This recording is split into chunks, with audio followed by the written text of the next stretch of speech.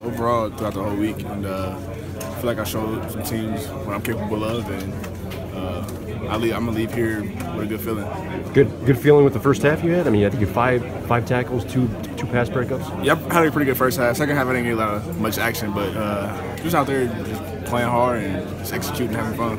What'd you see in the two pass breakups? Uh, just just breaking on the ball. The first play was play action, and uh, we worked on it all week.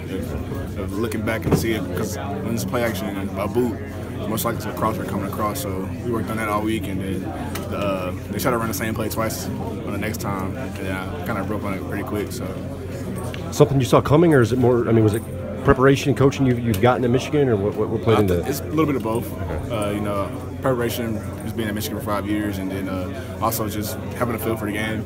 Uh, I kind of had a feeling they would run that play again because they got some good yardage on it. So, uh, and it was a two-minute situation. So uh, it's just trying to break on, break on the play as fast as I could.